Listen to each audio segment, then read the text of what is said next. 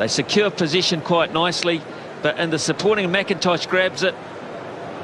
He just runs that line there. In fact, it's not McIntosh, it's uh, Michael Fitzgerald, but he just runs that wrong line. Dave Rennie and Wayne Smith. So here's Bleyendaal, first chance of points for the Crusaders, and that's drifting left. So Cruden misses one, Bleyendaal misses one. Because Dagg was on the ground, there was nobody back covering the fullback position.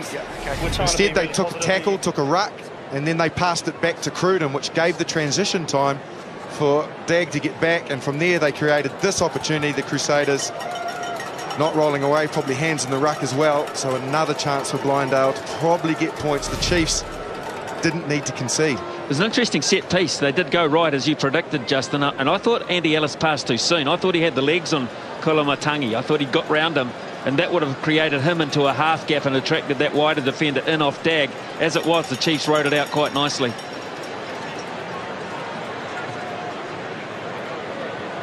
Last one, he pulled it away to the left. And this time he's going to start it right, and it won't come back. So he's overcorrected. Yeah, that's a drop ball. Yeah, Ngatai didn't get back behind Bleyendaal enough.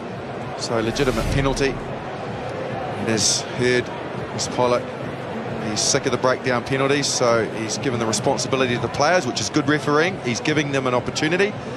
And if they don't sort it, out, sort it out themselves, then he will. And hopefully we don't get to that. Okay, Marshke, has he learned from previous mistakes? I don't. You're heckling again. Oh, I, don't know. A long kick, this one. It is. There's, there's another piece of information for him. Well done, this boat. Yep, 48 metres. He's going to have to hit it harder.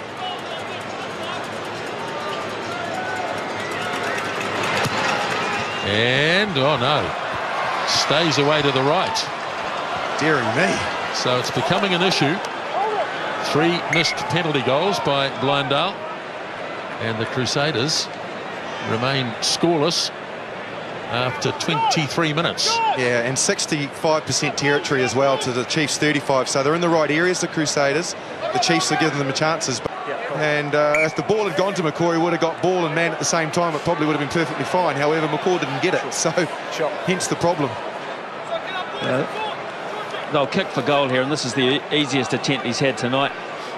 Bleyendaal and no, let's not forget, this is, looks like it's going to be very tight. And there's a fellow by the name of Tom Taylor on the bench. He's played well. His running game's been good, Bleyendaal, but he's got to convert these. Tyler, Tyler, Tyler, spec here.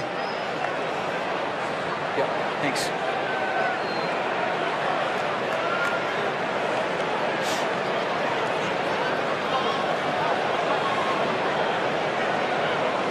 Tom Taylor there.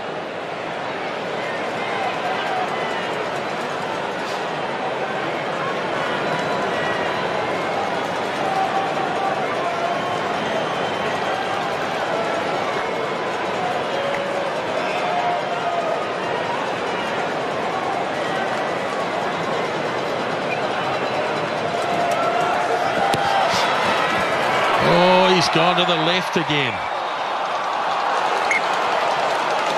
Well, well. Be very interesting to see what happens at half time. Four misses by Tyler Blanco. Just have a look at it again. Dagg juggled it. Tameifuna comes in from there.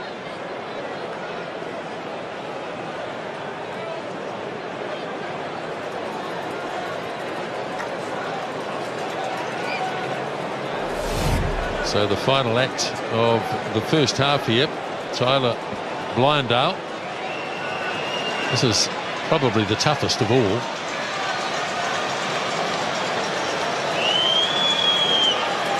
Todd Blackadder waits patiently and the kick goes sailing away. Way, way, way to the left. And it completes a miserable